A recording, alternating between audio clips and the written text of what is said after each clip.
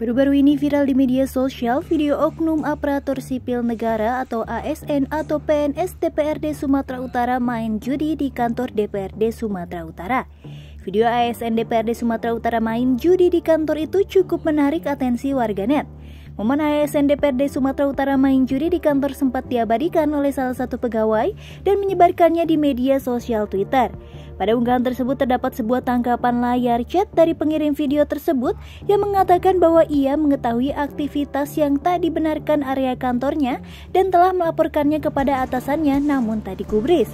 Hal itu pula yang membuatnya nekat menyebarkan rekaman oknum ASN yang berjudi saat jam kerja itu ke media sosial. Dalam unggahan tersebut nampak segerombolan ASN yang sedang duduk melingkar di sebuah ruangan. Empat dari lima pria dalam video itu nampak seragam lengkap ASN berwarna coklat, sedangkan satu dari mereka mengenakan baju putih dan celana hitam. Sedangkan di video lainnya salah satu dari mereka nampak melepas atasan seragamnya dan hanya mengenakan kaos dalam atau singlet berwarna putih. Bahkan beberapa di antaranya ada yang merokok sembari menikmati permainan mereka.